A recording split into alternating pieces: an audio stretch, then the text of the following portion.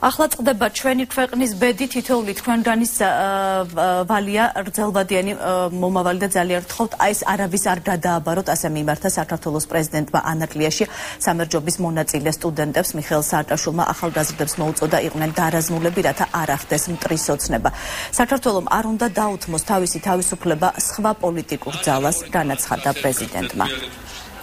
ძიმე მუშაობის შედეგად მინდა უთხრა მადლობა მარიამ საჯაიას და მის გუნდს რომელიც ახლა წდება ჩვენი ქვეყნის ბედი. თითეული თქვენგანიც ძალიან გძელვადიანი მომავალი. და ძალიან გთხოვთ ეს არავის არ გადააბაროთ და არავის არ გადასცეთ ეს ხელში. თქვენ მაგივრად არავის არ მიწეთ საშუალება. იმიტომ რომ ყველაზე მეტი და დიდხანს თქვენ უნდა იცხოვროთ ამ ქვეყანაში და ისეთი რამე არ გავაკეთოთ, რომ შემდეგი 70 და 80 წელი ქონდა ქონდეს სანანები, რომ მე არ მივიღე მონაწილეობა და ვიღაცამ ჩემს მაგერად ჩეიმბედი, იმიტომ რომ თქვენ ყველა ლიცხორებთ 100, 120, 150 წლამდე.